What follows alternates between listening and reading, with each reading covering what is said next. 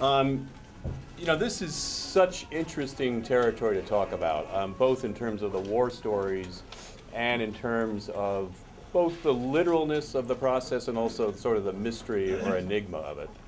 And it occurred to me that the person really to start with is the one that's really important, which is the man to my left. Uh, you know, because there are, there are writers and there are creators and there are showrunners, but really this town in many ways is, of course, about agents. So I'm referring to Marc Korman, who at one time I think was known, weren't you known as the king of the single season? That all the shows. Marc, I'm the queen of the single Kevin's season. gonna fire me for that. That's my- fire me for that because you're journeyman. So It's one step up from the king of the pilot. Now that's changed though because of, among other things, like Pushing Daisies, right? Which dirty is, sexy money. is gonna, they're, you know, so now he's he's. Uh, Yes, both are coming back. Yes. So uh, I thought I'd put him on the spot, just even to talk about, before we get to actually how a show is made, conceived, even to have Marc talk a little about sort of what he looks for, you know, what, how, sort of, not specifically how the market is changing. I think that's a larger question that hopefully we'll get to later. But just uh, a sense of, you know, what it takes as an agent, as a sort of what executives are looking for before we get to the actual writers who have to have to do the job. Well, um, I would basically call one of these five people and say, "What do you got?" Um, and say, "That's great." Now, uh, you know, you, you listen to the executives, and typically they try to articulate what it is they're looking for and what it is they want. And if you listen to that at the very beginning of the development season, then you at the very end of the development season, when shows get on the air, typically there's not a lot of consistency. Um, sometimes they'll suggest what they might want, and you can even talk about that more than I can talk about that. Um, but more often than not, I believe a, good idea is a good idea, and you sort of know it when you hear it. And I think the networks are sort of the same. Um, it's sort of if you build it, they'll come.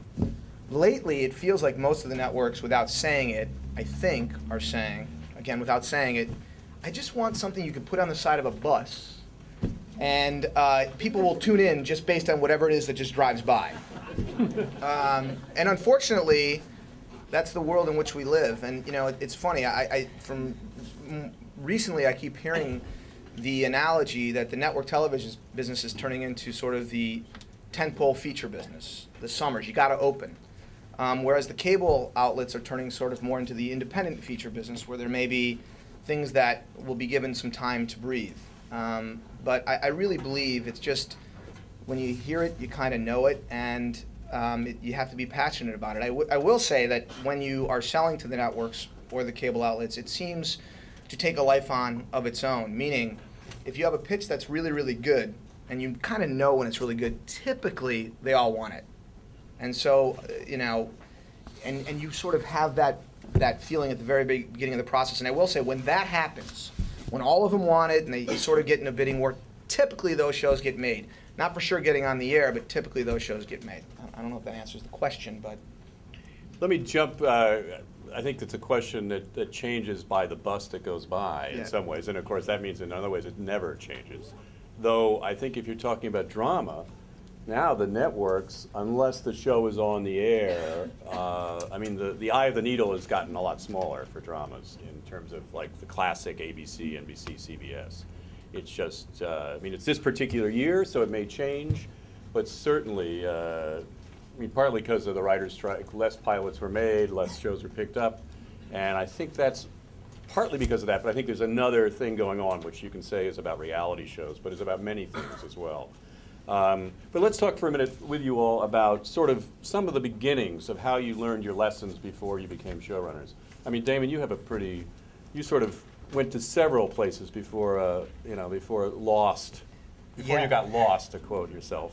Um, uh, I started as an executive. Um, uh, before that, I was uh, I worked at an agency first. I was an agent's assistant. Sort of learned, um, you know, what agencies were interested The in. The basis of Lost is obviously working at an agency. Yes, of course. That It's all about a plane crash. It's, yeah, it's dog eat dog, and uh, and then migrated over to the, uh, to Paramount, working for an executive there, and then ultimately I worked um, as a creative executive for Alan Ladd Jr. on the feature side of things, And uh, I started working for him the week after he won the Oscar for Braveheart.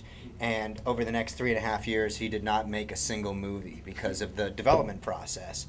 And during that time, I became incredibly enamored of television because friends and colleagues that I had working in TV in that three and a half year span where we made no movies produced 75 hours of television. And uh, I began sort of jonesing for that experience. Um, and I quit my job to become a writer's assistant on a show called Wasteland, which was uh, Kevin Williamson's follow up uh, to uh, Dawson's Creek. And um, I learned a tremendous amount in, in a very short period of time and basically became a writer on that show. And I wrote five, uh, four or five episodes of the 13 that were produced, only two of which ever aired. Um, so it got canceled very quickly. And at that time, uh, I got uh, signed by uh, CAA, and they the first meeting I took was with Carlton Cuse, um, who actually now uh, we run Lost together. But John um, was Carlton's mentor, so there's a little bit of a you know. Um, Carlton was my mentor on uh, on Nash Bridges, and uh, now we're running the show together. So essentially, over the course of that year, which was Nash Bridges last year, I learned how to run a show by basically shadowing Carlton and John Wirth, who were running the show together. Nash was shot in San Francisco, but written and post uh, and cast uh, basically out of L.A. and Burbank. So that was its last year. I learned a tremendous amount there. The show got canceled uh, because Don Johnson's a raving lunatic, and uh, So that was not a bad, there was, you know, I don't, I don't want to overuse this analogy, but if Lost is in some respects about an agency life, uh, you could probably say that dealing with Don Johnson is, uh, Yes. has its own right. special warp. Yes, exactly, no doubt. And uh, and fortunately for that, um, I then I I come on and worked on a show in its sixth season, so I, I knew how a a successful show uh, up and running was supposed to function. Now I said I'd love to have the experience of going to ground zero and seeing how a show in its first season can find its legs because Wasteland obviously did did not do that. So um, I got a job working with Tim Kring uh, on a show that he uh, wrote called Crossing Jordan, and I worked there for three seasons and basically learned again now how to uh, run a show from the ground up from him. So by the end of the third year, I was working very closely with him in terms of casting, posting, locking cuts, and all that stuff. And at that time, uh, I got a call from a friend of mine who was an exec at ABC saying, "Would you like to meet J.J. Abrams?" And that was the beginning of Lost. The, uh, I, years ago, when we were doing China Beach, there was an actor on named Robert Picardo, and he was asked what the secret of uh, getting a job on a series was, and he said, "Well, I've learned that the secret is to uh, dress like and look as much like the executive producer or showrunner as possible." you look at Damon's history, maybe not those things, but ser- seriously, you got to know significant players along your journey. I mean, that's you know, or whether they were mentors, whether but whatever, that's a, quite a list. Sure, and you know, I you know the thing about JJ is I'd been stalking him for you know close to two years, not like sitting outside his house with razor blades stalking, but you know, just sitting outside his house primarily, and uh, and have been trying to get this meeting because I was a huge fan of Felicity and Alias, and then the timing just never quite worked out until you know the um, I got that call and basically he, he was producing a pilot called The Catch and still running Alias. And the Lost idea was generated by the network, actually, Lloyd Braun. And they came to him and said, What can you do with this idea at the beginning of February, which is way beyond the traditional pilot development season? And JJ said, If you can put me with another writer, maybe I'll supervise it. So, as a result of me telling everybody in the universe that I would be desperate to do anything with him, that information finally made that meeting occur. And I also had uh, you know four years of television under my belt. So I think one thing that happens, and, and probably everyone on the um, up here has experience with, is they give shows to people who just write great pilots. And the first thing that happens is those people are either fired or they are they are asked to partner with an experienced showrunner who they have no working experience with and are not deferential to. And it, it's a it's a recipe for fundamental disaster because the showrunner is like, you're not interested in learning about television for me, and the writer says you're not interested in my vision, and then everything collapses. chemistry, uh, you know, for, sometimes a forced marriage. Now, Kevin, you sort of are it's a little bit similarly. I mean, because you certainly uh, tracked a, a certain individual of some renown. I mean, I don't know exactly what your how you guys met, but this is Aaron Sorkin because Kevin worked on Sports Night as well as West Wing. Yeah, I um, I actually was the third choice for Sports Night. They couldn't, um, they couldn't close the deals with the first two people, and I was in Arliss, and I think it was just sports, and they thought, well, let's get the guy from the, the cable show no one watched.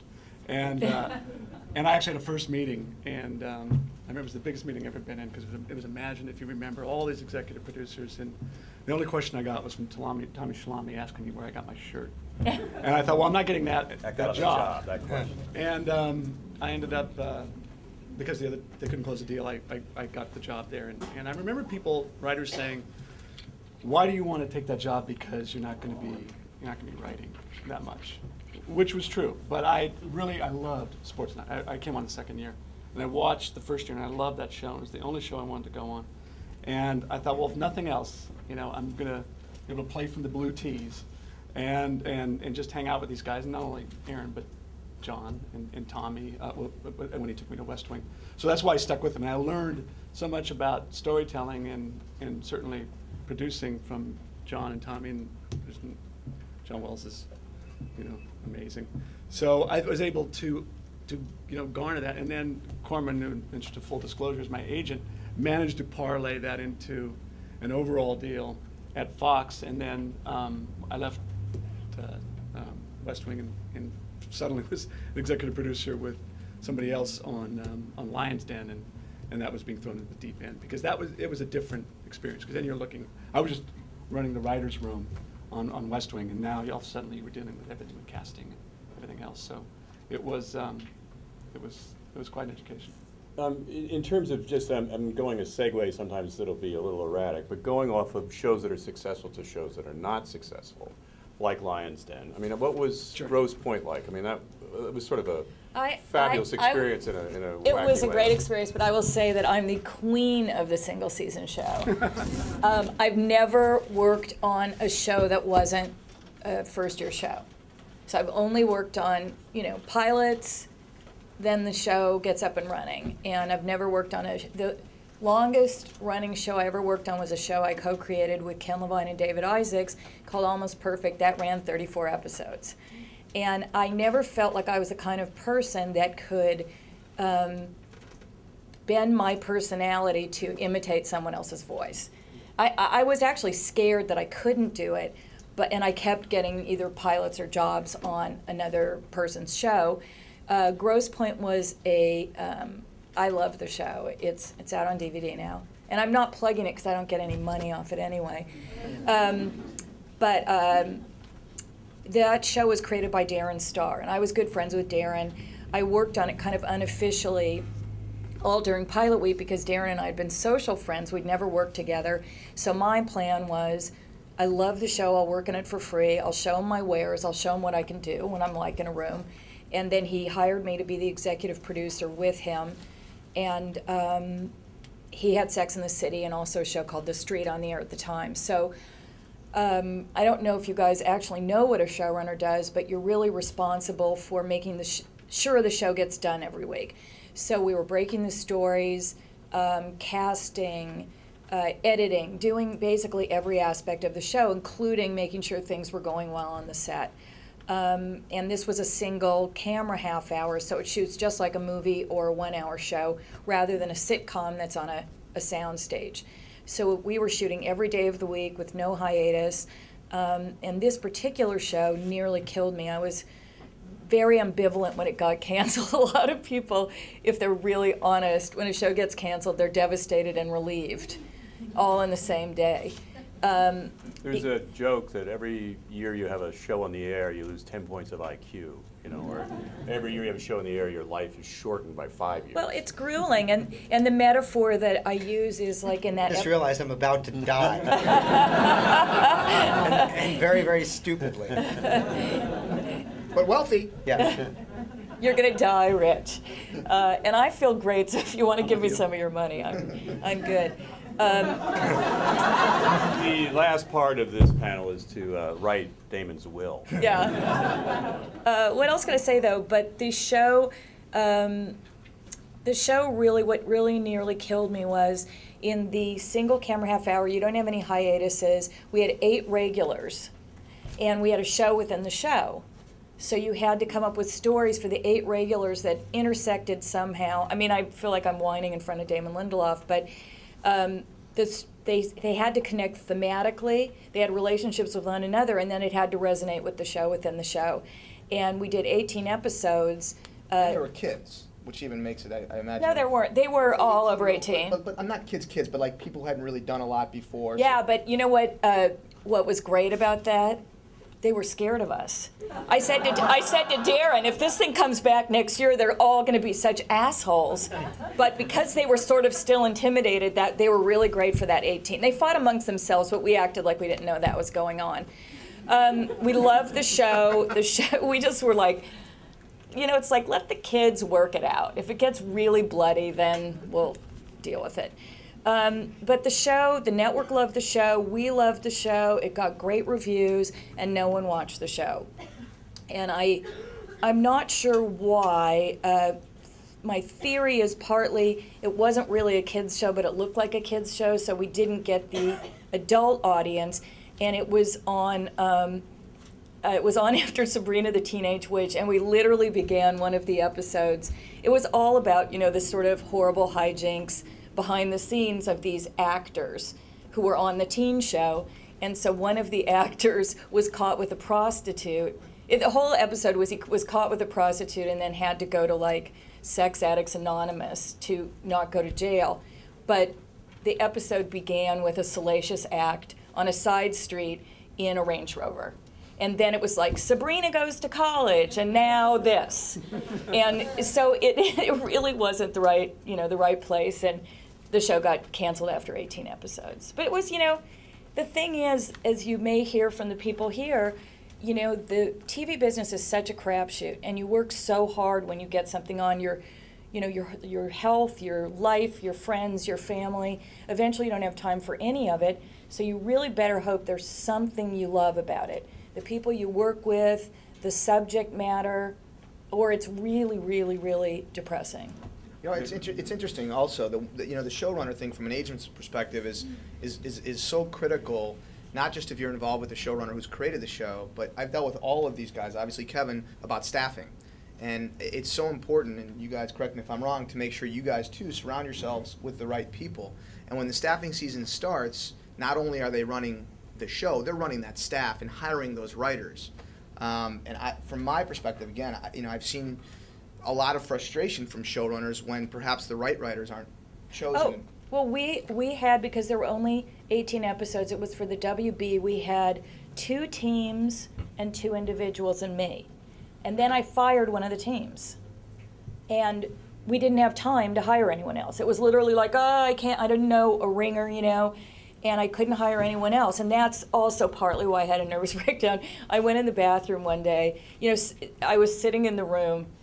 Oh, this isn't why you came here, but I'm sitting in the room and I'm spacing out and I'm thinking, Robin in the oh, bathroom, a Oh series. my God, no! First, I'm sitting in the room and I'm like spacing out, and then all of a sudden I hear one of the writers go, "Robin, what do you think?" And I and I look, and these four faces are looking at me, waiting to make a decision. So I'm like, I have to go to the bathroom. I go in there, hyperventilate, and if there had been a window, I would have just gone right out. It was like I got to go back in. I have no choice. Now, there is something, sort of, there's a joke, there's a a rather successful producer named Peter Guber who once said to me that, and I felt this, that when I first came here, it was all about the material.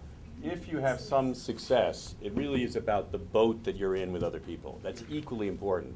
And if the boat is, you know, if you're all rowing in the same direction, and as he said to me, well, forget about rowing in the same direction. It's when the guy's in the, you know, the stern of the boat with a jackhammer or a power saw, you know, going through the bottom of the boat and water's pouring in and says, everything's great, you know, then you, you know.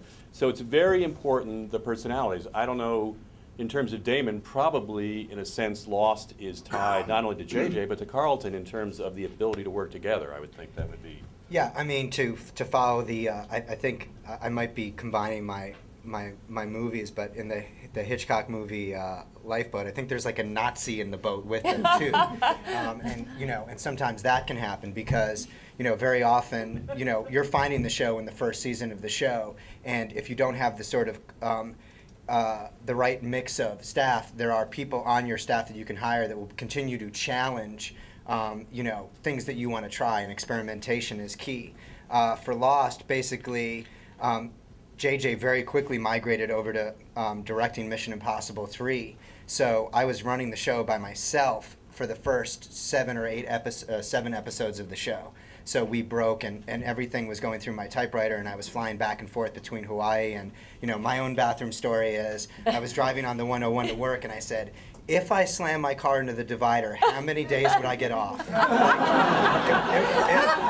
it, it, it, it wasn't quite a suicidal thought, but at that point I realized, you know, I was in trouble, and uh, I had been calling Carlton all through the process of, you know, essentially, you know, pardon my French, what the fuck do I do now? And he was a very sort of steady guiding hand, and it, very quickly got to the point where I said, please, will you come and, you know, and partner with me and help me run the show because I'm just completely overwhelmed. And, and he said yes. And uh, he came on as we were posting the fifth episode and writing the eighth episode. And then everything started to get quantifiably better because the big question that everybody was asking about the show was are you making it up as go, you go along and do you know where the show is going to go? There was just no time in the first season to calibrate any of those things because you know we basically shot the pilot we wrapped on april 24th and then it got like three weeks later we were in new york and all these people are around us and then we started writing the series. So there was no time to sit down and, and design this grand map. So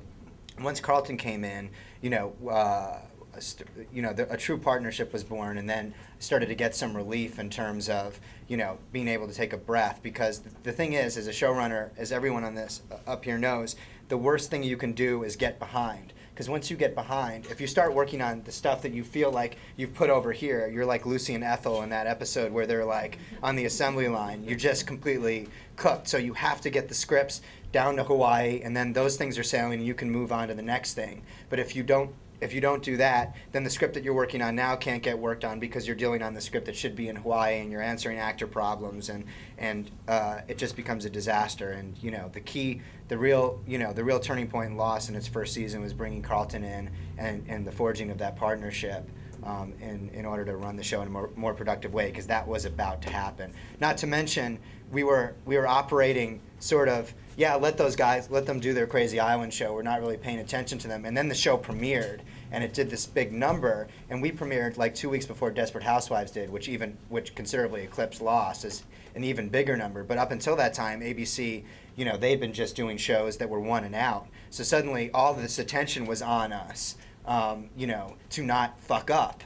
And, you know, when you're constantly surrounded by people saying, don't mess up, don't mess up, don't mess up, you're much more prone to fumble the ball. Yeah. Also, just as a, I, uh, was Lloyd gone by then? Yeah, Lloyd was gone. So the man who sort of was the, one of the initial, what, uh, people that made, helped this show happen, of course, was gone from the network by then. Right. So the people who probably were there thereafter didn't necessarily have the same belief in the show or the people. That's, You know, to Steve, uh, Steve McPherson was running Touchstone, um, so there was some continuity there. He took over the network, and essentially, I'm not sure whether or not he got the show, but once he saw the testing, he got the show well enough to put it on the air and put a tremendous amount of, you know, this is the side of the bus sort of mentality that I think started that season, which was they, you know, Steve did outdoor advertising for Desperate Housewives and Lost. So everywhere you looked, you saw those two shows on the side of bus, driving down Sunset Boulevard. Like traditionally, that's not the way television shows were marketed. And he made them events and successfully launched those shows. So whether or not he got it creatively, at least he sold it. Yeah, let me go to, one of the things that happens too is the actual process of making a pilot. And Kevin, on West Wing, you were, were you around when the pilot was made or you came in No, I thereafter? But, but you know the after. story of what happened, Well, right? it was written before Sports Night, right? Right. And- But you probably. Well, I was gonna say, just in a, in a specific sense, when you make a pilot these days, it's not, there's, you know, you interact with the network, and it, it's now not at all unusual that a part of a pilot, or a substantial part, is rewritten or reshot uh, during the process or at a later date. It can be about recasting. In the case of West Wing, there's this uh, minor actor who appeared only in Act Four of the pilot. Oh, right. Uh, and who was seen as a guest star um, until I think the testing was, and that was a, a guy named Martin Sheen on the West Wing. The- ads written, in Aaron writes like plays, he didn't, in a, in a play sense, would be Act Three or Act Five. You suddenly have this guy who's talked about all along, and suddenly he appears. And when he appeared, it was beautifully done and very dramatic. Well, of course, the show then was tested, and guess who tested by far the highest? Yeah, and I think originally, in- in early drafts, he wasn't even in the show. There was not going to be, you never, you would never see the president. It was all going to be in the West Wing, and you dealt with all the players that were there. And then I don't know if they got Martin. And, and then Well, were the, testing the, it. the good news for Martin Sheen was his agents then said, whoa, you want us? Well, ha. You know. So, uh, Mr. Sheen, uh, I think, signed a very nice contract, and of course, the rest is seven years of history, I think. And that can happen. Now, Allan, I want to turn to you, because in a way, you're, to me, from what I know, a sort of, I would say, contemporary hybrid. You know, you're the, the one who's, uh, I mean, you're, you're, whether you're talking about Wonder Woman or you're talking about the comic world, which I think is very much evident in much of what is successful now. Um, and you know, tell us a little about sort of how you, because I look at your his credits, I mean, it's sort of like, hey, I can do anything. I mean, it's. Uh, Oh, my goodness. So I mean, He's the same person that did the OC, Sex and the City, now Grey's Anatomy, in addition to his comic life. So, You trying to sign him? Yeah. uh, I, I, we, He used is to, we- there. we, used to work But together he- before I. Uh, Yeah, before you fired and him? Allan and I met on uh, Party of Five, the last season. Well, I feel like The last season where at one point these words were said. Let's just leave the hospital set up. We'll use it next week. I kind of feel like I came in right at the end of the old school TV regime where people didn't come from features to do television. You started at the bottom and you worked your way up and you learned your craft there. And uh, Chris and Amy, Chris Keyser and Amy Lippman, who created Party of Five, were very. They had grown up on Sisters, and uh, uh, they, as a story editor coming in, I was a story editor my first year on Party Five. We were instructed and expected to do everything a showrunner does. We were expected to run the room when it was our episode, to be on set supervising production, to be in editing, to do music. We did every aspect of the experience, and I got incredibly spoiled.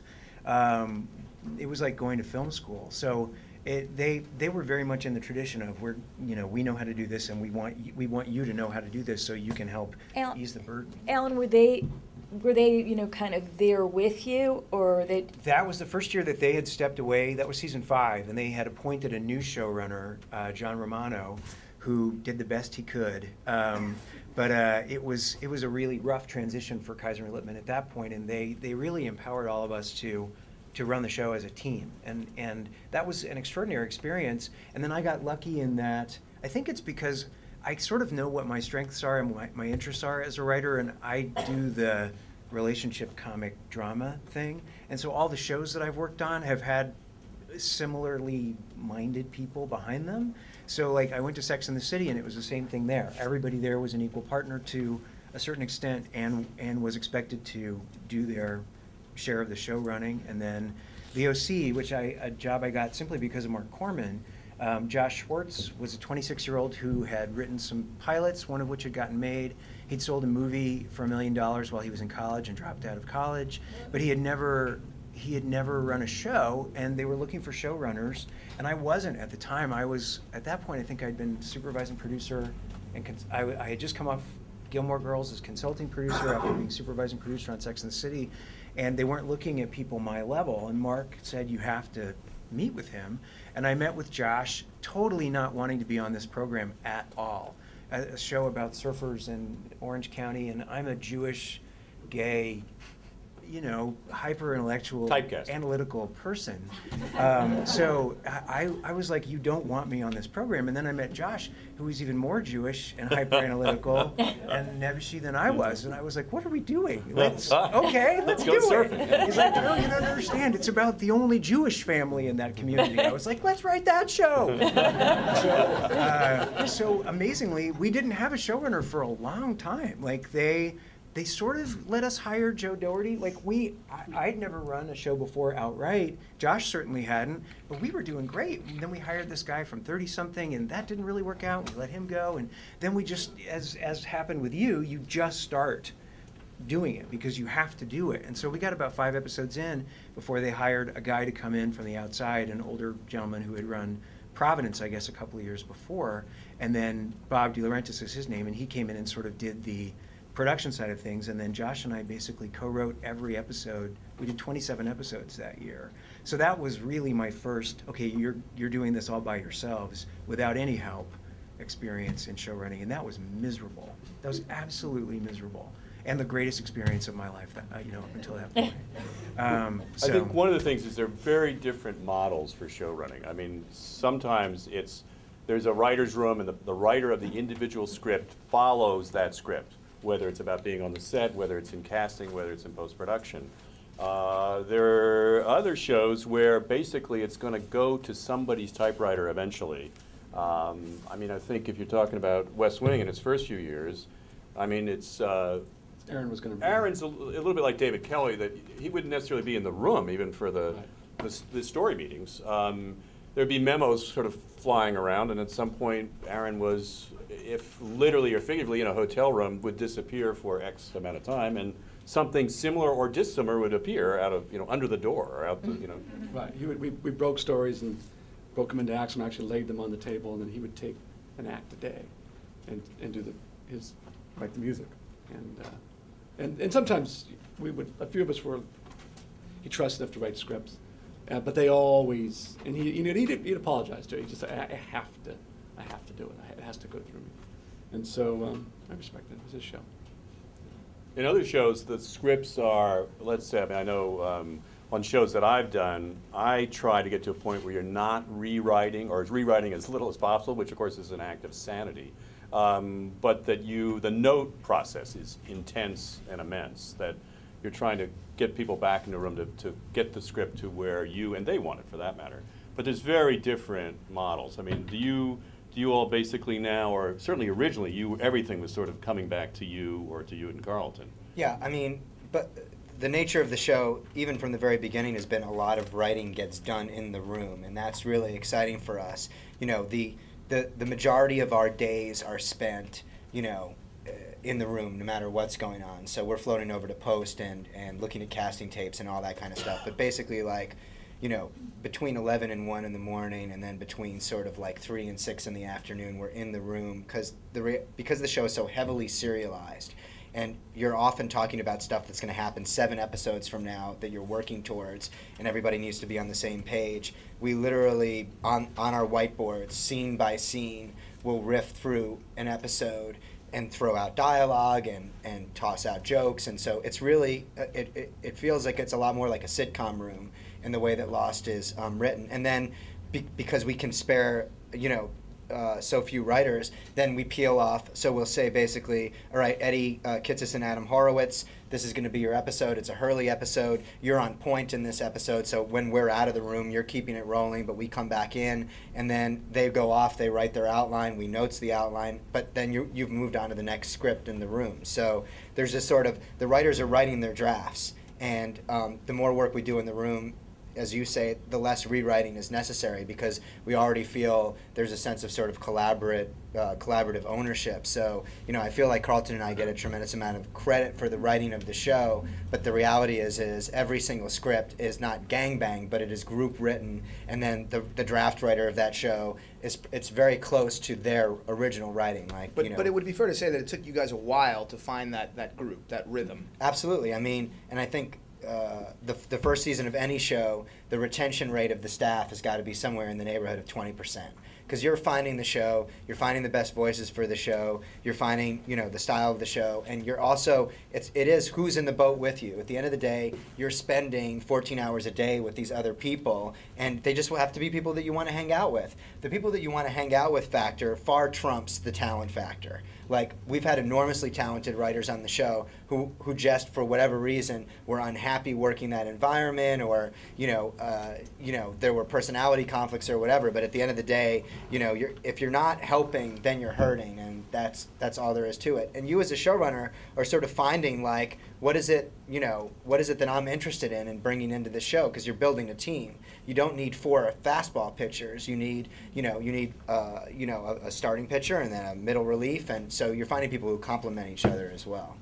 I think the, one of the practical uh, messages in this is that it's not only obviously about your talent, it's about the energy that you bring once you're hired. I mean, it's, so it's about the chemistry, the compatibility. And that, that doesn't mean you shouldn't be yourself, but you just have to know that, uh, I mean, let's talk a little about trying to, I mean, how does Grey's Anatomy work? And in terms of, if anyone wants to talk about originally hiring a staff, because that is a, that is a difficult process. Well, Shonda, I came on at the end of season two, and uh, Shonda had never done television before. She'd been a feature writer um, exclusively, and she again, the retention rate in terms of the people who were actually doing the writing those first two seasons, there were two people who were who were seeing their work on screen, but everybody was writing drafts that would get thrown out because the show was finding itself.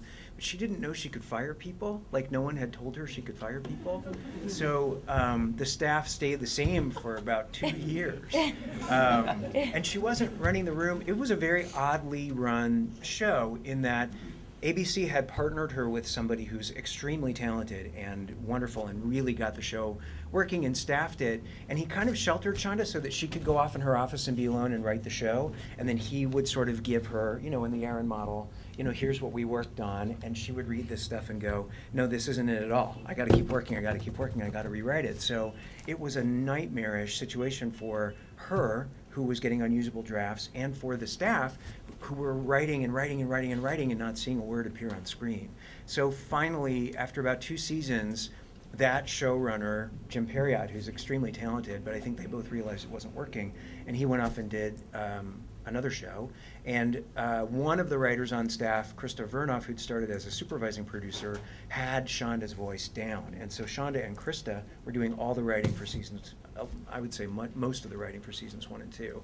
Um, in season two, they, are, they were actually able to bring on a couple of new writers who, who did really well in that environment. But I think as of the beginning of season three, there's only one writer left from season one, like one.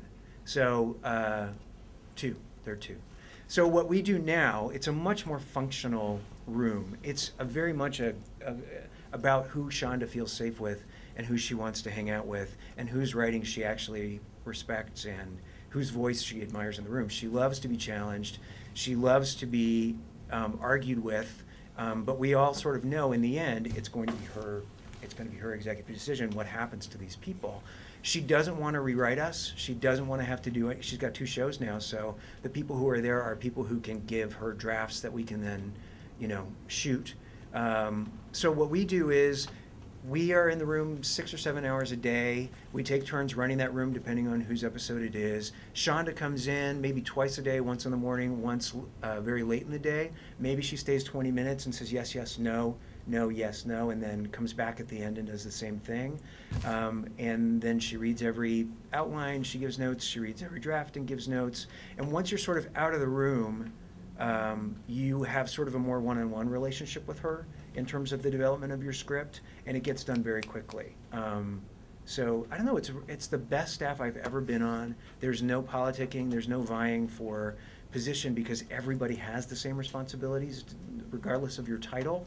Um, so and it's a you know it's a great show to be on. So everybody's sort of content, and their writing is making it to the screen. She's gotten to the point now in season five where you don't have people on staff who can't deliver in all the areas that she needs them to. Does that answer the question? Yeah, Kevin, talk about just Journeyman, the, the, because that is a show that you created and executive produced, and, uh, you know, hiring a staff, trying to put it together, um, obviously a, a conceptual show in terms of, of, of what it was, and how much even was, was Alex important to the Very, development of the show?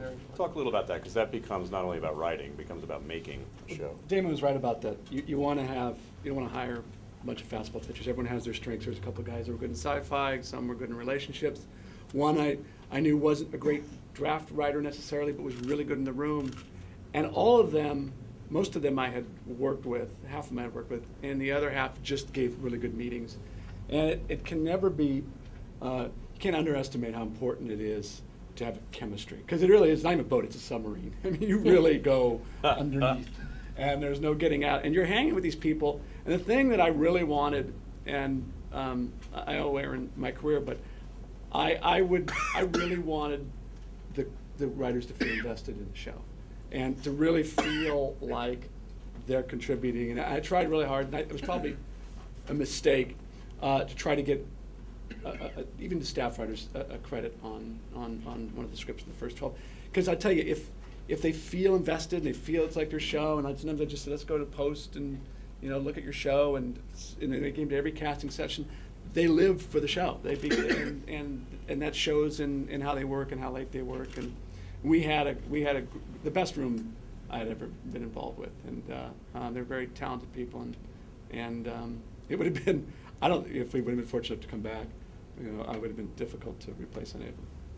Talk a little about uh, the, the process of making a pilot in terms of working with a director. Yes. Um, Alex Graves, who John and I worked with, Alex was executive producer on The West Wing. Very, very talented director, worked on Sports Night and did the, the pilot not only to, to my show, but also to The Nine. He's pilot, director of The Fringe, JJ's. um, he's extremely tough, extremely passionate. I remember saying to Marc, there was another director that the network wanted.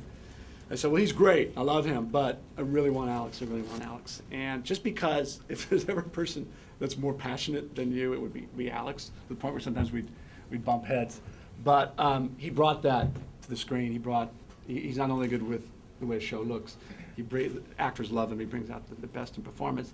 And with him, you know, in, in television, the, the writer is seen as the king. All that's starting to change now as you get to get directing partners. I like a real strong director partner, and also want him to feel invested uh, in the show and to know that you know if we were going to do press or go anywhere, it was always going to be you know our show, and and that helped deliver it. And my my show originally was cast contingent, and um, um, I wanted. I, I, showed it to Alex and we had dinner and, he, and I thought he was just going to go let me think about it. He goes, I want to do this. And the minute you have a strong director like Alex, they lift the contingency. And because Alex was involved, Kevin McKidd wanted to do it and we started to, um, to gain some momentum. But um, there, um, th- that director is, is very key, or that element that you can attach to it, if you can, um, can go a long way to getting you on the air. Let me go back a second, just to, for you all, and, and respond individually. If, if you're hiring a staff, uh, sort of rate the difference, you know, the importance of the writing on the page or the meeting, because you mentioned meetings, for example, just, because I think it helps, again, to say how important the writing is and how you have to keep doing it, but at the same time, boy, it is about chemistry. So Well, writing gets you in the room, and uh, you Yeah. guys continue, writing Yeah, gets you in the that's room. exactly right. I mean, i- in in uh, in TV, it, the resume is sort of inconsequential. It's like, you know, if, if s- so, you look at someone's credits and go, do these credits sort of add up to the sh- to the to our show? That's one way of looking at it, but I think it's very flawed. I mean, if you look at Lost, like, what is it about my credits? Wasteland, Nash Bridges, Crossing Jordan that equal Lost? Or you know so at the end of the day you can't you, you can't really judge what a writer's true voice is. Sometimes someone coming off of procedural dramas is most inclined to really want to do your show because they feel so hedged in. So at the end of the day their sample gets the meeting and you know personally you know carlton um, taught me this and i agree with it 100% you want to read something original like for me to see this is my spec west west wing is like okay so you wrote a west wing and did a great job of imitating aaron sorkin's voice but we're really curious about your voice because our show is always constantly trying to reinvent itself and feel fresh and sound new. And the minute that it starts to feel like we're doing the same stuff over and over again it's not interesting. So you read a sample some, some people write one act plays or original pilots that gets them the meeting. So you know that th- th- they're a good writer before you even have that meeting. And then it's just all about you know how great uh, is this 40 minutes that i spend with this person in terms of what, what our vibe is. And it's weird because it's like speed dating. You're literally saying after a 40 minute meeting i'm going to commit to the next you know potential at at the very least uh, probably like 13 episodes of spending time with this person and trusting them and you know filling them in on all the secrets of the show. And you, you cannot call an agent and basically say we're going to need a second meeting you know? That's you know that's all you get Well, one of the things that when you're reading scripts, and especially as the market tightens up and there's fewer scripted shows, you know, there's a, a certain level of desperation from the agents. So you're getting these calls, and people are sending literally stacks of scripts like this. And what's difficult is the vast majority, when they've gone through the process of having to get an agent, um, most of the scripts are good. And I would say the same percentage are terrible and great. You know, really unreadable or really connect. And like one day I remember I was reading scripts for Grosse Pointe and it was a Memorial Day weekend and by then I'd figured out that Darren Star wasn't actually reading any of the spec scripts. So I had to like go through them all. And I had this stack and I was just determined to get through them. And by the way, I would only read five pages. If I wasn't into it, five pages over there. You can have a stack of over, what, several hundred if you're not Yeah. careful. Well, I had I would call the agents and say only send one client, but when then they would send e- a bunch of agents from the same agency would send one client. But I said, well, target who you think would actually be good for this show, and then I'll, you know, and then I'll read them. But anyway, I'm reading these scripts. I really felt like I was so tired. And I was just like, I felt bad. I'm not giving these people their due because I'm too tired. Then I read a script I like, I'm awake. And it's very, um, you, it's hard to put your finger on because you're getting things that are competent. And everything sort of looks okay, but it's just not jumping off the page. I do like to read original material. Sometimes I'll read, like one of the guys I hired, never heard of him. He'd written a Seinfeld. I read his writer's draft. That, that was, he was a writer's assistant on Seinfeld who got a couple produced episodes. And then he wrote this spec pilot that was very weird, but I really thought it was good. Um, then you have the meeting. The other thing I always do is check people out. Because when you get a script, you don't know did 50 friends help them write it? Um, what process did it go through to get to me? So generally, I'll read the script. If I like the script, I'll have a meeting. Um, if you ever get a meeting on a new show, don't bullshit this, but if you genuinely like the show, spend five minutes at the beginning of the meeting specifically picking out things that you like. That will make the showrunner or the creator of the show happy. And and also don't, you know, tell them this is what you should have done differently. That will make them mad. Um, I like it when people come in with ideas, but not in a pushy way. So it's like, oh, I love this. Have you ever thought of doing that with them or whatever? For me, a good meeting is when I like the person and the energy feels good, but also when I feel like I'm already working. So if they bring me an idea that's kind of stimulating, and I find myself kind of talking back and forth with that person, that person will have a really good chance of getting the job. Then, if the person's worked with anyone else, I call and, you know, are they psycho? Do they give a good meeting and then come in and whatever, you know, powder?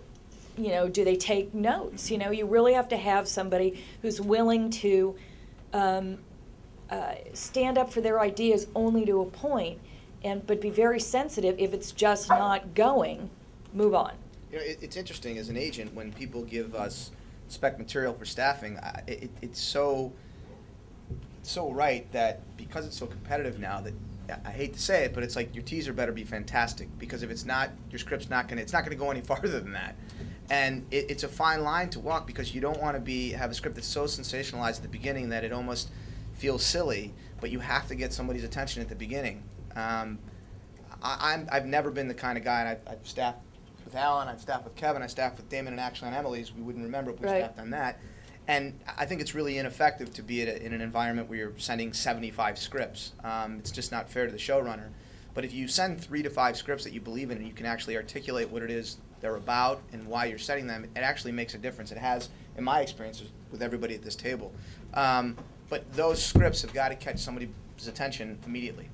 And, and it doesn't have to be, excuse me, Marc, but it doesn't, sen- the sensational thing won't even No, that's what I'm saying. grab me. It- exact- it just It's- has to be- It's like something about the character makes me curious what's gonna happen. Right, and I'm not saying like next, or- somebody yeah, jumps off a building. yeah. I just it's just got to be terrific from the beginning, it, and it, it it sort of goes without saying that it has to be terrific at the beginning. It has to be terrific all the way through, but it makes a big difference that teaser.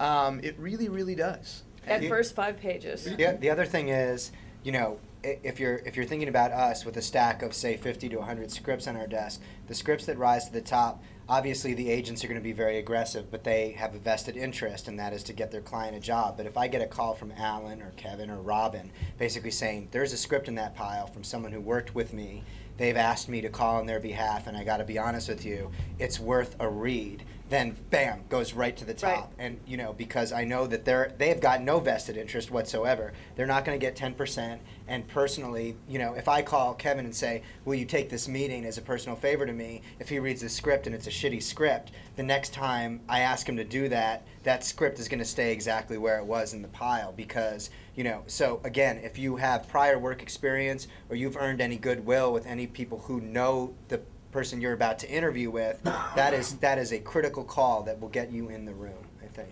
One of the things I used to do, just a little different, is I thought that the teaser can become, you know, again, it, it can be provocative. So I would always go as well to the middle of the script and just read like three pages. And within that space, I could tell if the teaser's good. Well, guess what? It's still in character here in the middle, and sometimes the last three pages because it is true, as awful as it is, you're not going to be reading every page of all these scripts. It just you can't do it. I mean, you you.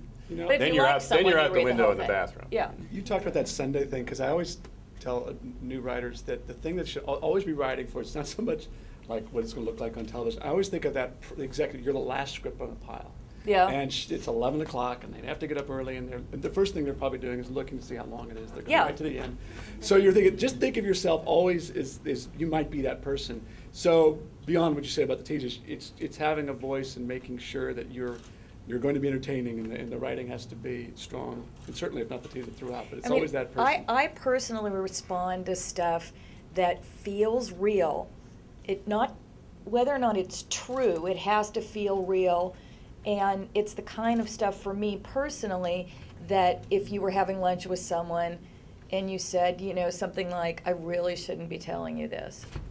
You know, then I'm interested. If there's something kind of juicy or real or I I relate to that person. I'm writing a pilot right now that it was been very challenging for me because it's a um, an ensemble show about 20 you know mid 20s performers trying to make it in in New York.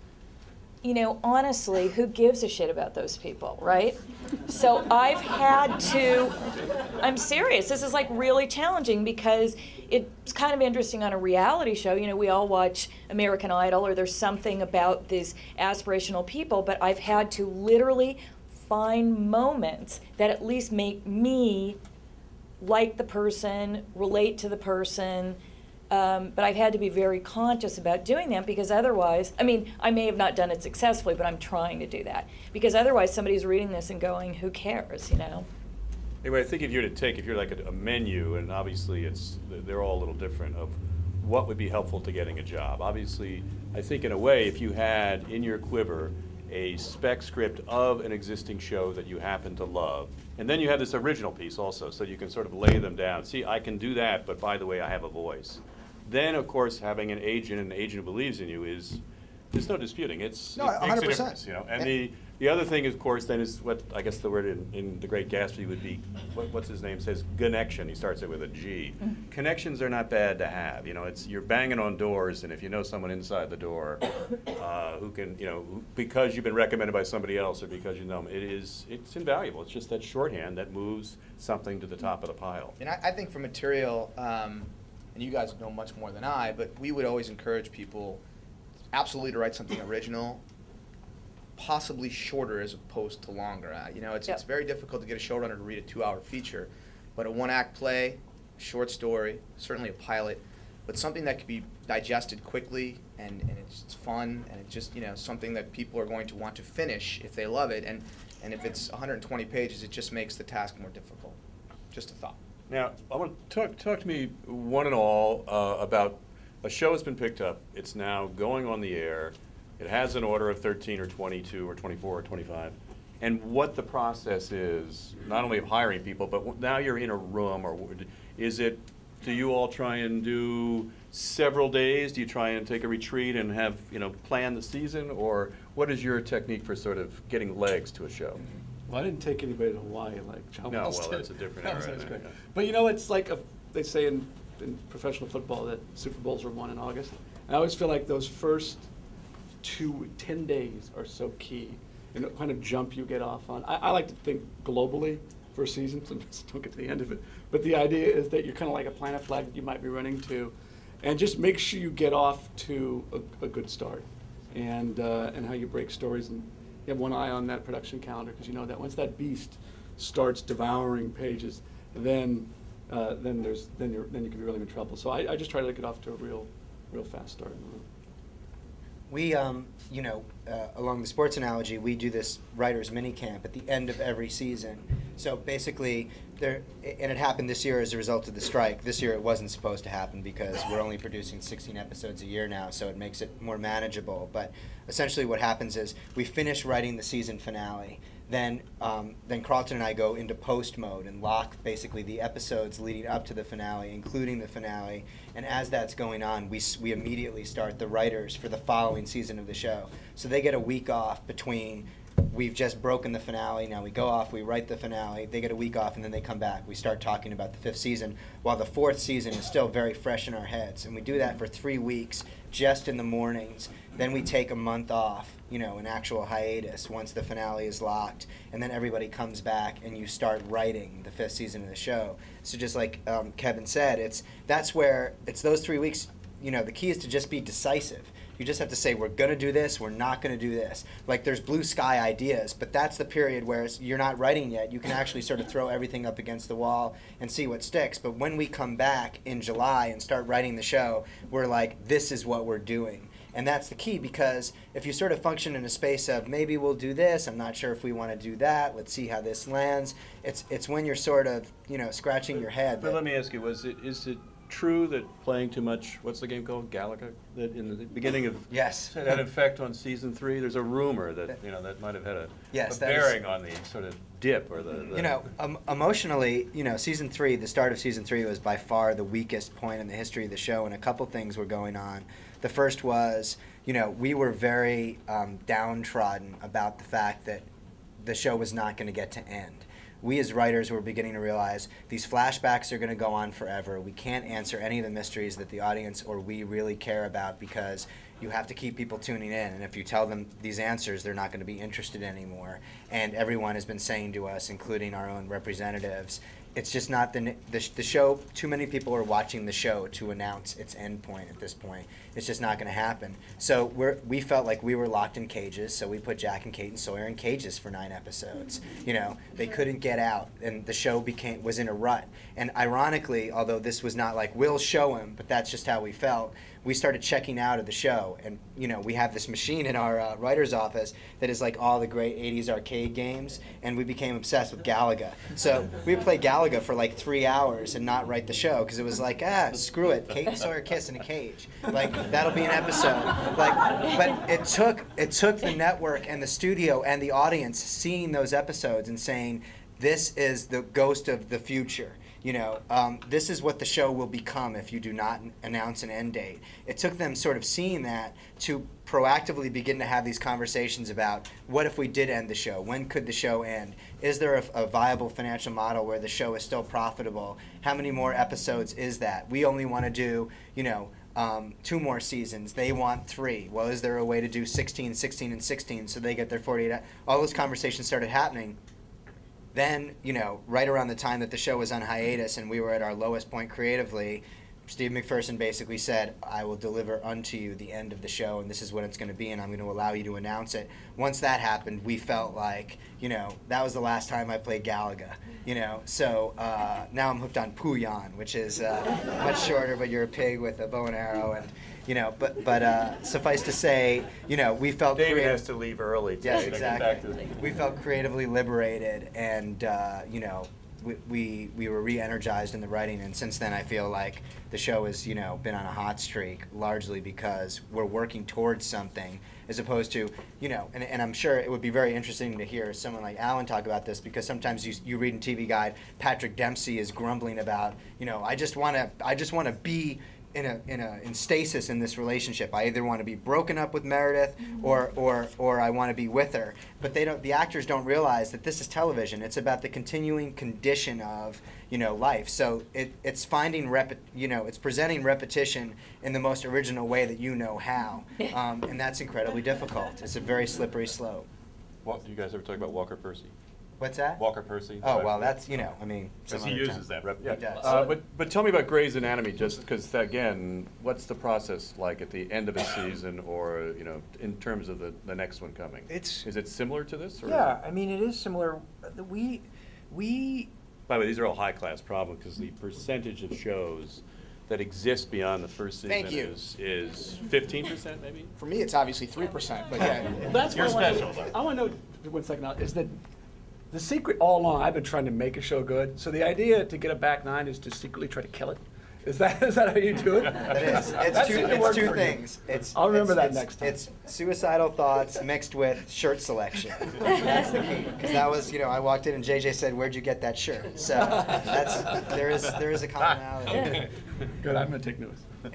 Sorry. So, No, there seem to be, well, there are two things on the table. One is, we, season five, the, the new season, it's very weird because we, because of the strike, we don't have the luxury of, let's take a week, let's take two weeks to talk about what we want season five to be. We did this thing this year where we don't have any time off. We finished season four, we finished shooting season four at four AM on Sunday. Shonda was in locked up in post until Thursday, and we got her yesterday to talk to start talking about season five. We start shooting in less than four weeks, so we have no time. So she did this thing where we all had to write anonymous. What do you hate about Grey's Anatomy? What do you want to happen on Grey's Anatomy? You know, what would you change if you could on Grey's Anatomy? And no names attached, and everybody, you know, Oh, how everybody turns it in. Well, it's such a, it's so it's such nonsense because I knew writing mine like two words in she'd know Allan, you know. So I like I tricked it out. I tricked it out with like a font that I wouldn't normally use.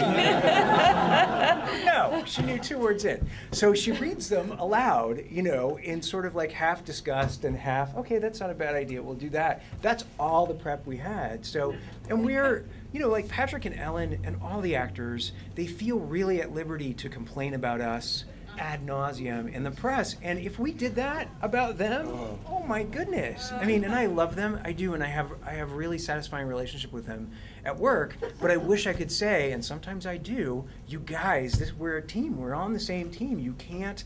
I know you want to distance yourself from the crappy writing you think is going on on this television show, but the actors just don't understand how the show works. And a lot of that, I think, is the disenfranchisement a lot of actors feel. The more enfranchised you can make your staff feel, including your crew, including your actors, the more part of the process you can make them feel, the better off your life is going to be on a show. Everybody's going to work harder. It's exactly as Kevin said. So, um, yes, t- that, that's how we've prepared for season five this time, and a lot of it has been listening to Patrick complain in the press and on set when he when we're a captive audience about what isn't working. And Shonda, to her credit, listens to the criticisms and says very much as as you just did. Yeah, season three was about me feeling trapped in my own life and wanting to kill Meredith Grey. Which she did. I mean, one day she had a fight with Ellen on set, and she walked into the writers' room and wrote under episode like 17, Meredith dies, and we were all like, um, joke, right? No, she killed Meredith Grey, and it wasn't really until the very last moment. I mean, she brought another Grey onto the show that season, so it could be Lexie Grey's Anatomy we were watching.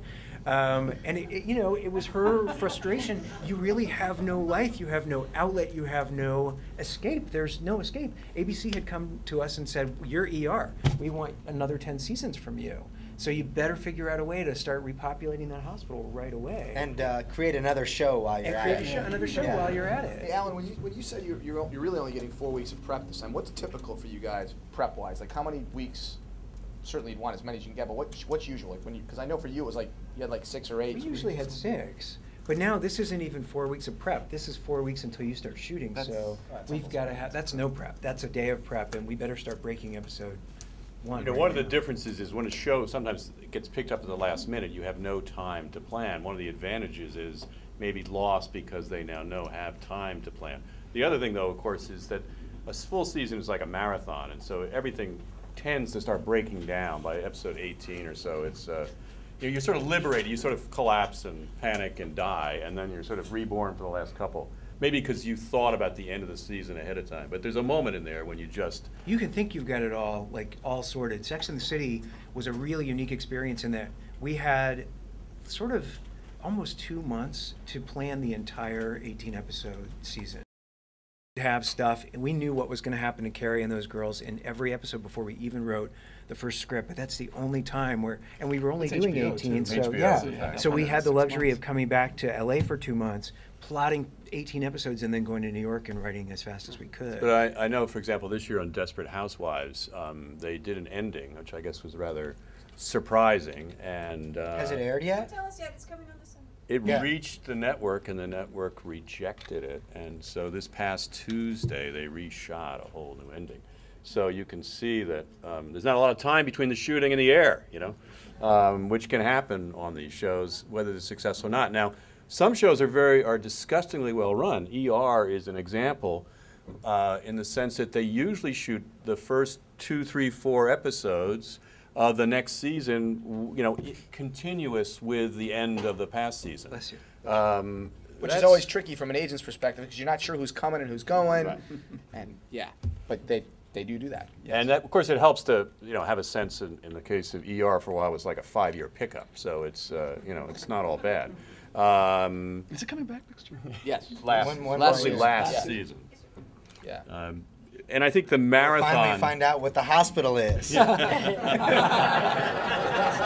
Well- God, they announced It's on the island. Yeah, It's a- It's a mystery. Well, no, actually, they discovered that, you know, there's, that they just finally discovered there's no one left in Chicago that hasn't come through those doors and been killed or, the, you know, bus crashes or helicopters or whatever. There's no one left. Um, well, you know, one of the things I think we can do, I don't know if you all have questions, uh, but I think I'd like to throw it open to you all and, and see what someone has to say. First hand up. For the mic. I guess as uh, kind of showrunners and agents and guys who read a lot, um, what is more important to you from a new writer, like story or dialogue? Like what, what kind of captures you first, typically? Both. For yeah. Yeah, Yeah. dialogue is so boring if there's not a good story, and the story should come out of character. So you really need good characters to tell the story, and the dialogue has to be good, but in service of the story. Can I say something about specs? I appreciate the, the spec because it shows a certain command of craft. Because television is specifically a craft different from other other forms of dramatic storytelling. Um, but I most of the specs I read are are basically about people who want a job. Like they're, they're scripts that exist because that person wants a job. They don't exist because that person has a story they have to tell. So if you've got, I, I appreciate the value of a great of a great episode of, you know, if I were writing a spec right now, I'd write Friday Night Lights because I'm obsessed with it. And I'm obsessed with those characters, and I would try to come up with a Friday Night Lights story that I feel has to be told that no one else could tell. And that spec, if it's invested with, with story and character and dialogue and a love of that show, I'm to freaking love that writer. So I don't. I, I just wanted to not write off the idea that you can't write a spec that's going to get somebody's attention. You, I've fallen in love with writers because of a spec. So that just as a side note, um, but it is. I think story's the hardest thing. I've been in a lot of writers' rooms and I've worked with a lot of incredibly talented people, and people who could actually who are actually great pure storytellers are really rare. So, but it all comes And out it's of not plot. and- It's not, you don't say plot tellers. Right. They're telling you story. Why are we hearing this story about these characters at this moment in time? Why do they deserve my attention? Why is it important that I sit down and spend my life reading the script? If you can't answer those questions about whatever it is you're writing, if I can't answer those questions about episode five of Grey's Anatomy, there's no nobody's watching. Just in, in the history, you know, there, there's the, what's the, the oldest profession is prostitution. Well, someone said the oldest profession is actually storytelling. And if you go back to like around the fire, if something, it's what, sort of what Robin said, it, it makes, you know, it's something uh, that makes you sort of sit up and pay attention or lean closer to the fire, that, that's pretty important. If actresses want to win an Oscar, that's when the storytelling and the prostitution intersect. Yeah. Thank you. I thought it was. Hello. Um, my question is, uh, and maybe Marc can address this or uh, whomever. What are the specs, uh, the hot specs, so to speak? What are people writing uh, that you guys are finding coming across your desks over and over and over again? And are you tired of reading those scripts? Yeah, be careful. Yeah. yeah. I'll pay any of you to write a journeyman. I see that Uh, you know, there, there, it, it lately there hasn't been any one particular show. Um, you know, people are writing heroes. Um, there's always people writing House. Um, it's tricky. Um, Lost, but the it, the great shows are, are sometimes very difficult to really be able to find your own voice within that voice. I mean, it's it's when people try to mimic, in my opinion, those shows, unless they're going to be great, they seem not so good. And so, also, there are, you guys know again more than I. There there are certain showrunners who won't read certain shows. You know, clearly you're not going to send him a spec lost. It's just not going to happen. That's a mistake. Um, So I mean, what do you guys think? I mean, it's like there's certain specs. I, I know you and I have had these conversations. There's just certain specs that you just don't want to read. The the thing is, you know, it, your your spec could potentially have a date of expiration on it. When when I was, you know, trolling I, around for by the work. way, I had this experience on your show, where somebody wrote the script and then it appeared. Right, yeah. right. So yeah, I wrote a Soprano spec back in '99, and it took place in between seasons two and three of The Sopranos, or one and two. Basically, in my Soprano spec, Tony's mother was a character, and then the actress who played her died, and then subsequently she died on the show, and my spec became irrelevant because the fact of the matter is, is like once you're sending it out, it just feels old. It feels like it's non-topical. So if you're writing for a serialized show, you know, it, it's hard to kind of you want a piece of material that'll be good for at least or and fresh for at least 18 months. So that's something to think about. There are outside the box ideas. I heard uh, about a writer who wrote a Sopranos spec after the show ended. It was basically like, here are the Sopranos characters 20 years from now, you know, and it's about basically like AJ and Meadow's lives 20 years in the future. And I go, okay, this is a fascinating kind of concept because I know the show The Sopranos, but it will be fresh 18 months from now because they're not going to make any more Sopranos. So, you know, those sort of outside the box ideas sort of generate buzz in the community. Have you heard about that guy who did this or this or that? So it's kind of saying like, you know, everybody's writing heroes or everybody's writing house. So how can I write, you know, a show, um, you know, that fundamentally is a little bit different and will will tell somebody that I can have fun with something? Well, can I cross pollinate two shows? What if Friday Night Lights and Heroes existed in the same universe? I'm going to write that spec. Like as crazy and as stupid as that idea idea might be, if you can pull it off and your agent can say, "Listen to this," Yeah. that might be interesting enough to get somebody to read it. You know, so be creative and inventive, and don't be afraid to fall on your face. And Yeah. write your, your, I'm sorry, go on. I was just going to say, pick a show you know is coming back the next year. That's good, yeah. Well, You're writing Also- to your strength, too. also, go I'm going to name a bad guy on Lost, Luther Mace, and I hope you're not offended by that because that is the, the most awesome bad guy name I've ever seen. In yes, absolutely. That's right. I'll A send recurring character payment. I think the lesson again is if, if you're writing the same spec as everyone else in, on- about the same show, it's probably not such a great idea. The idea of combining something, or, which allows an agent to say something too. For sure. You know, hey, it's not just it, listen to this. I'd like to see Korman sell that. Yeah. Here's a guy who crossed. He's ready to He sell did it. Lost in Yeah. Friday Night I'm done. Done. Yes, yes, sir. Get the hell out of here. Yeah, since you consider uh, compatibility so important, since you consider compatibility so important, do you look at bios of people before they come in, as well as their script, and how much you consider where their lifestyle or Were their they life born in? Teaneck, New Jersey? No, no, it's, you're interviewing someone for work that way, and, and for compatibility with the culture. Do you look at where they came out of and what they did? you mean their their pri- prior resume? Yeah. You don't mean their ri- you don't mean their writing Yeah. credits, you mean their actual biography? Yeah, where they came born from, where, right. school where, et cetera? Yeah.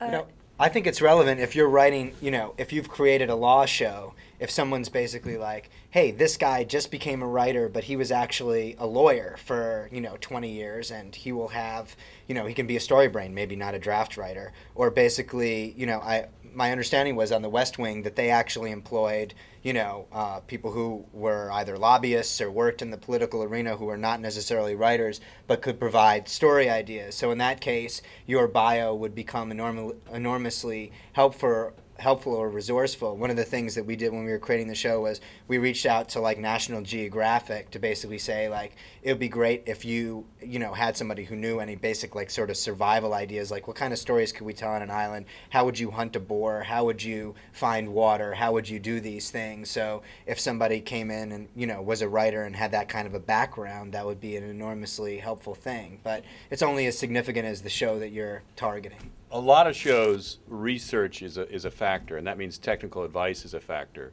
And a technical advisor can indeed, you know, end up being a writer or a producer. There's a number of cases, obviously, of that. And so, in that sense, it's important. I don't think it's important, um, you know, beyond that. Oh. Nope. I'm sorry.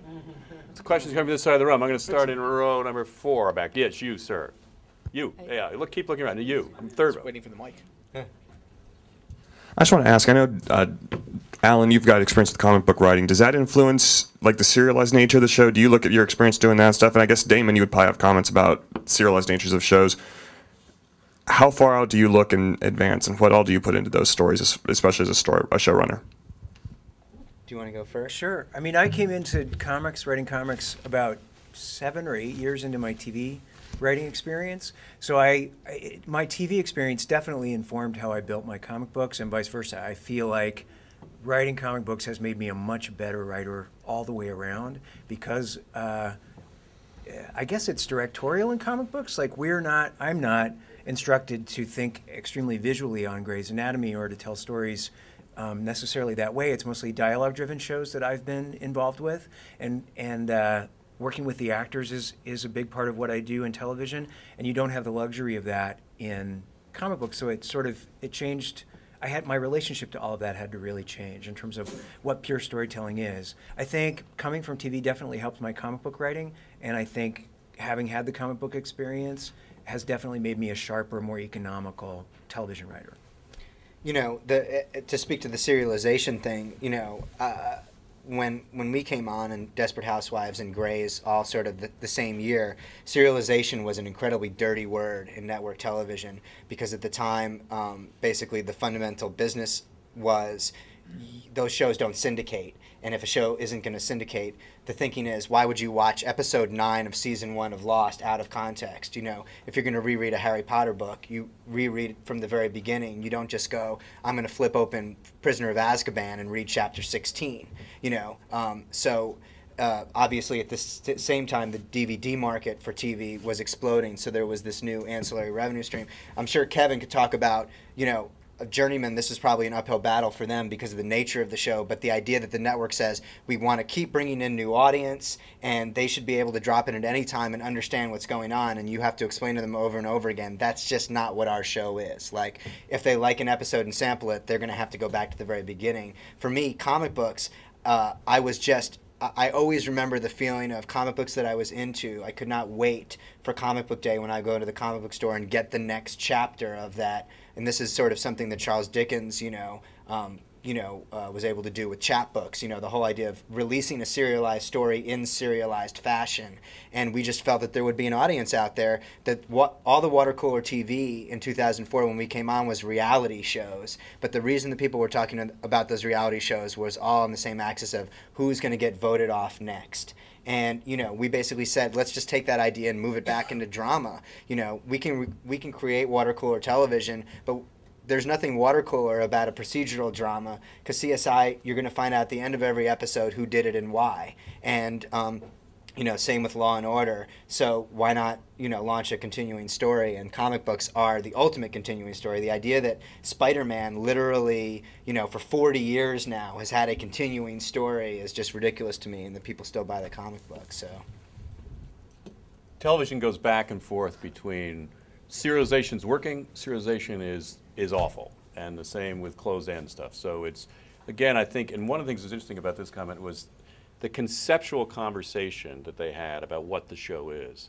You know, we talk about the practicality of making something, of actually getting enough stories or getting the shows on the air, but you need to have the conceptual conversations with yourself or with your staff about what is this show when you really get down to uh, you know a couple lines or paragraphs. You know, I don't, I think we have this in the library, but if not, you can ask one of the people who work at the foundation. My friend Winnie Holzman and I just did a, a series of classes, but we had Larry Wilmore's original handwritten notes from the Bernie Mac pilot, as well as his writer's draft, and Shonda's notes from the beginning of Grey's Anatomy. And if you really want to look at the brain, both those people had such a clear vision of the tone, what the show was about, from before they wrote the pilot. And I would recommend just, you know, stopping to the library is, I don't know, ask Adam or Angela, um, because you guys really would enjoy seeing that and just seeing that clear vision going into the, uh, going into the writing of the series. There are shows, obviously, CSI 1 or CSI 100, same with Law and Order, that sort of have a routine to them and can be successful. But the shows that are tend to be most remembered or that are groundbreaking come from some, even if it's a tweak on an, on an idea that's, that's, a, that's original or new. Are there, yes?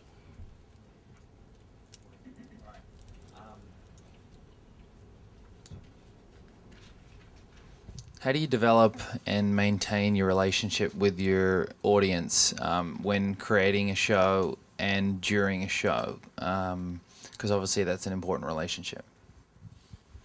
I feel like that's changed radically um, because of the internet, and uh, I don't know. I'll just start, and then you guys. Uh, but um, Grey's has a very vocal um, fan base who they.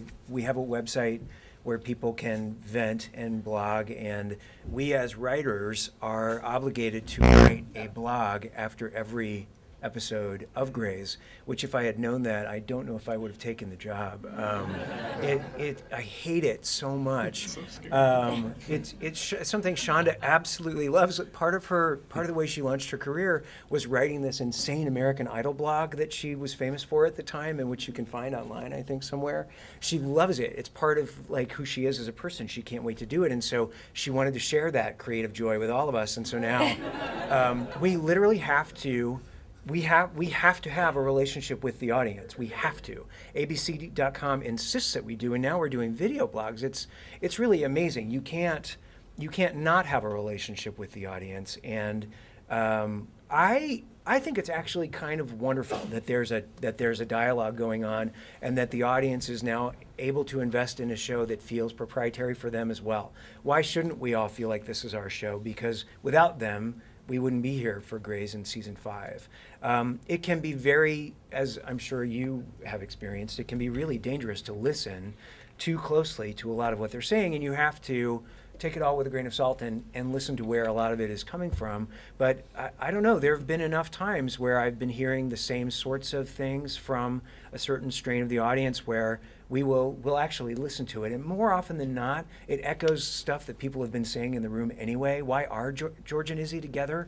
That's sort of incest. Don't do we really want them to be together? And Shonda's like, you don't know what you're talking about. It'll be great. And then the audience says, ew, it's like brother and sister. So it's it's a lot like that, where they don't tell us anything we don't already know, but they are we are definitely getting the sense of what's working and what isn't. Not quickly enough to correct it because of how far ahead we are, but um, there's a definite conversation going on um, now, and I don't know that that was true when the Mary Tyler Moore show was, you know.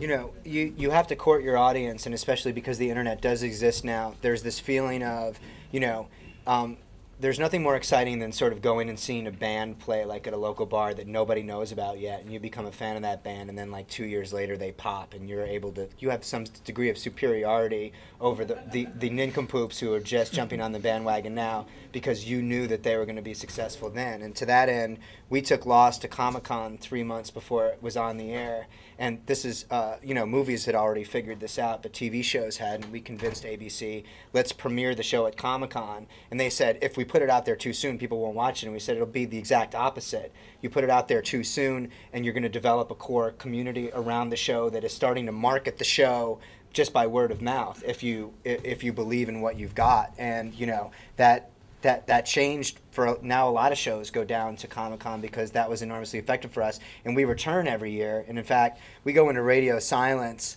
um, you know after the finale airs and we don't talk about the show at all until comic-con so we're telling our fans first here's what's coming up next year so it, it recreates even though the show now has gone you know, global, that they're still in a room with 4,000 of the hardest core fans of the show. They get to hear first what we're going to do next. So, you know, that, that part of the dialogue is absolutely essential to us. And, and, and again, I think everything that Allan said is most of the time, by the time the fans are saying we hate Nikki and Paolo, we've already written the script where Nikki and Paolo are buried alive. Like, you kind of, you, you, you know what's working and what's not working. And fundamentally, it's nice to know that the fans have your back. And, and on our show, it can get very confusing. So it's very helpful to sort of see what questions percolate up that we thought we explained very clearly, but in fact, you, you can't have an argument with the fans of like, no, no, no, we explained it there. You either get it or you don't. So then you have to kind of let the writing reflect, you know, in hindsight where you made mistakes. It's a lot like, you know, politicians constantly having to, you know, course correct based on, you know, misinterpretations or things taken out of context. Now, you tou- your question touched on something, and let me ask Marc, and I don't know if there's an answer to this, but obviously, you know, the world of communication is changing. Uh, the internet being a part of that. I mean, I don't know whether you guys like at Endeavor or talk about that or what's going to happen. Not that Yeah, anybody all- has the answer. We, we talk about it all the time. Um, we don't have the answers. We're desperately trying to find the answers. But you know, if you look at the the upfront, just recently was last week. redundant, but uh, the money is, is is coming down. Ratings are eroding, and everyone's trying to figure out how to fix that. And the internet is going to play a very large part of that, but no one's yet to figure out how to actually monetize that. Um, but yeah, I, mean, I, I- wish we knew the answer. Um, not only the internet, but TiVo, um, and you know, sort of the younger audience. Are they really, because of the internet, able to focus in on something for 60 minutes or 48 minutes, or do they want to sort of multitask while they're watching the shows? I think these are all questions we don't know the answers to, but they're definitely relevant. I was involved in a show called Quarter Life that premiered on the on the net, and was it then was it on NBC and was a disaster basically.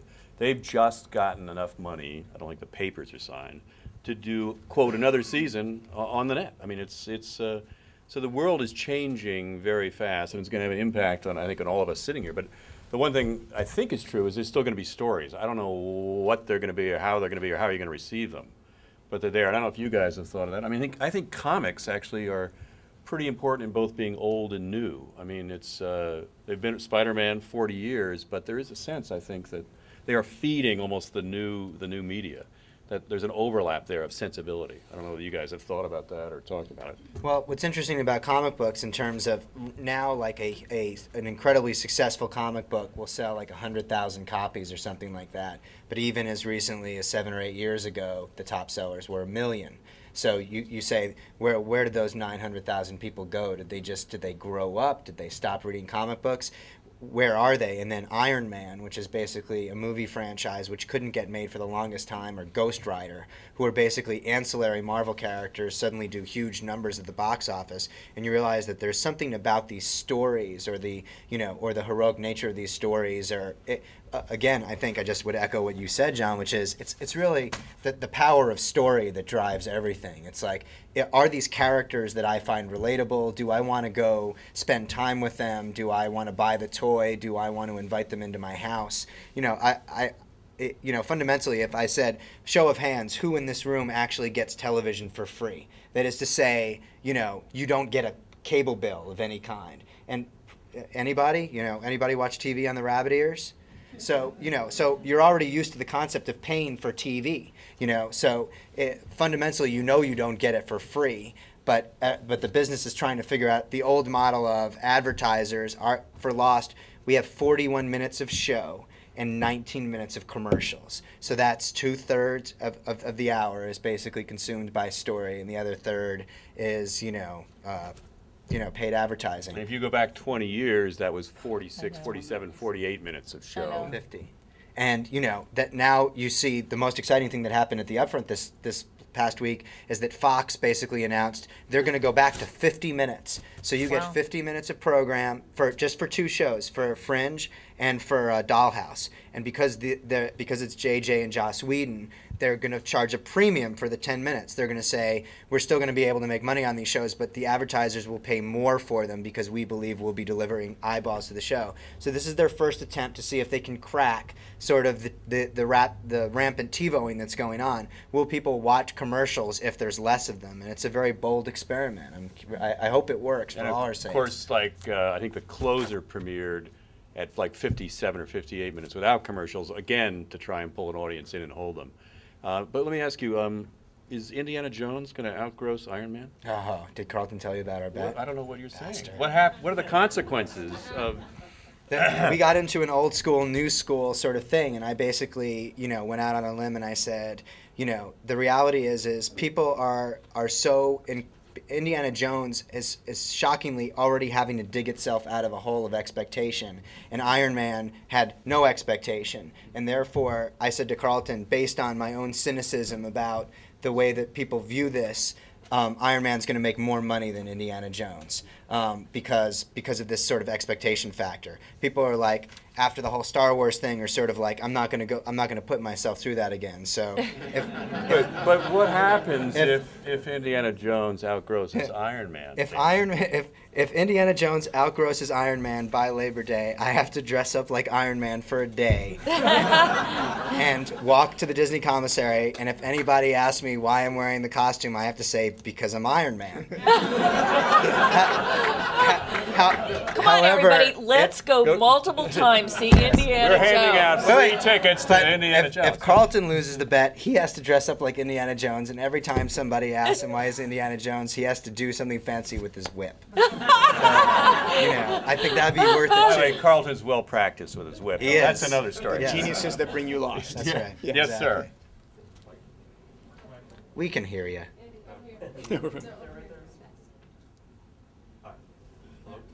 Uh, the last panel told us that our real life experiences can be helpful toward getting a job. So I just want to let you know I am a former med school student. Gained superhuman powers to bend time dimension after a plane crash in Hawaii. I prevent and create diseases based on my own mood that day. Awesome. If I had a show, you'd be like the first guy. Now, is the script of that written yet? I'm off the hook. Hey, uh, where'd you get that shirt? Thank you very much. I like yours too. Yeah, exactly. Um, just uh, go back to the business of writing, Kevin. I just wanted to let, ask you, was it just more the numbers that got Sports Night canceled because there was so much talent in the cast and everything, and more to a general audience, is the business becoming tougher? Um, we've had series get second, and second and third lives. You can't just say it's the internet saving Jericho. We have the Cagney and Lacey story back in the '80s. So what is what makes or breaks a show these days, and is it how is the business affecting the writing and the show and materials that we see? Well, I'll, I'll just the answer to the first part with, with Sports Night was those, just had those bubble numbers, and I think I kind of I kind of know about a certain meeting that happened, but I'm not going to talk about it. But there's I think it was Come a bubble on. number. I think Aaron had two shows, and uh, I I just know it came down between Sports Night and Norm, and Norm Norm won the day. Yeah. Rest is history. Yeah, yeah. I think I think the vertical integration has really really affected what stays and what doesn't. If you look at Journeyman, for example, which is a show that was produced by 20th Century Fox and not an NBC related company, um, the numbers were I think scrutinized a bit more than some of the other shows. If you look at Life, for example, which is for all intents and purposes, it was doing the same numbers as Journeyman. That that show came back because it was owned by Universal, and there was a, a much larger incentive for the network to keep it around because it was all the, the, the profits, the, the, the, losses, the costs, whatever, we're all shared internally. And, I- and I think you're going to see much more of that. I, I really do. I, I think that you're at Warner Brothers is an exception to this because they're a true independent still. We'll see what happens in the future. Um, but I think if if you're a, a touchstone show, for example, for ABC, if it's at all working, you're much much better positioned to stick around. It's actually called ABC Studios. Oh, I'm- that's right, I'm sorry. They've completely eliminated the auspices of uh, the idea of any sort yes. of differentiation between Exactly. the two. Exactly. Yeah. Also, obviously, the patience is less, and that's, again, is a factor, I think, of perception and vertical integration. And there's, in the history of series television, there are any number of shows that initially didn't do well and then found their place. Seinfeld. Seinfeld, uh, X Files. I mean, there's um, and there's uh, we could Hill Street Blues. I mean, and Yeah, that The Office, Elvis the American Cheers. Office, was a bubble show after its first season. And that I think has become less and less likely to happen. You That's can be right. gone in an episode two, three. It's just bam, gone. Yeah. On that happy note, are there any more questions? Yeah.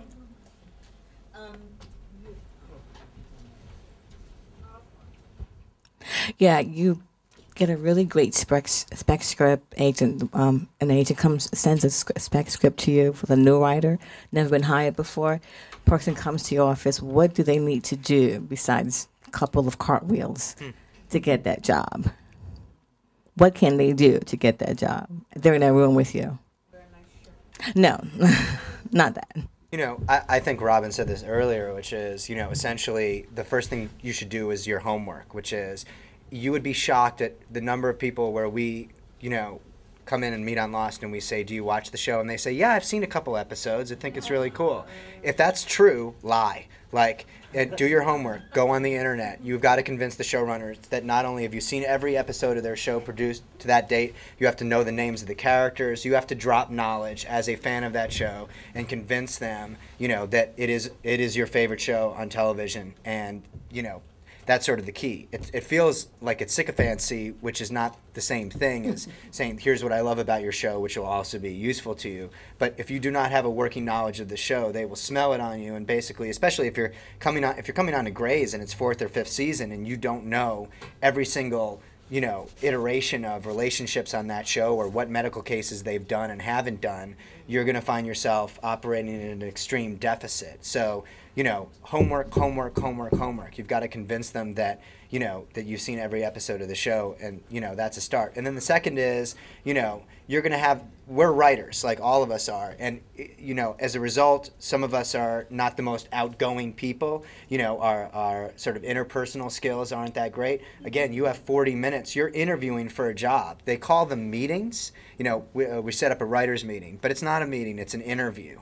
And you know just like anybody who's interviewing for a job fundamentally it's all about the way you dress the way you present yourself the way that you tell stories you know. Fun uh, you know if you go on the jay leno show before you go on with Jay, someone calls you up and you talk to them for half an hour and they do a pre interview with you and they find your most amusing story so that in your four minute segment with Jay Leno, you're going to tell your most amusing story. So have a canned story that you tell. Like someone's going to ask you, so tell me about yourself. And you, you in three minutes are going to have to say, here's how I came to LA, here's why I want to be a writer, and here's a, a factoid about me that is very interesting and potentially humorous or you know that gives you sort of an angle immediately brands you as a person the worst thing you can do is make no impression at all Um, This I- is a case also where the reverse bio effect might be. In other words, if you have, if you find out about who you're going to interview with and something about them, and, it, and don't, you have to be careful not to lie about it, but there's some crossover or common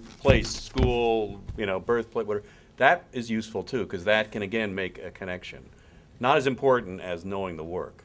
Uh, yeah, I was going to say too, ask questions. If you come in and you're, it's all about you and you want to get all the information out, it can really be off putting. But, you know, come in and engage with the person. I guess that's what I'm trying to say. IMDb them, know about them, ask questions. I was wondering, I love that thing and see if you can engage them. We got to. You have a question, ma'am? Plus, plus we're running out of time here, so. Shocking. Can I just double off that? Because before we can get to you. You don't have the we need to microphone either. you. Right. I'm going to ask you, piggyback and ask you real quick. Just really quickly. Really quickly. And Really quickly. Really, really quickly. Really, really quickly. Um, same thing. A new writer sends a, sc- a really good spec script to you. They come into the office to try and get you as an agent. What, what do you look? How can they I convince hope you? um, that they've done a lot of research on me. No, um, uh, no, I, I think it's the same exact answer. You just want somebody to come in that, that you know is going to make an impression not only on you and your colleagues, but these guys. And you kind of know somebody walks in and they're they're really prepared and they're excited, they're passionate. Um, they engage. They have questions about how the process works. Not necessarily about the agenting thing, but you know what what do we think about what, what, what else is out there? What's in the community? And so it, it's it's it's the same exact dynamic as going to see a showrunner. It's just making sure there's chemistry in the room. Thank you. So if you have any other questions, ask Marc after we're done, and I want to thank the panel and you all, but let's thank the panel very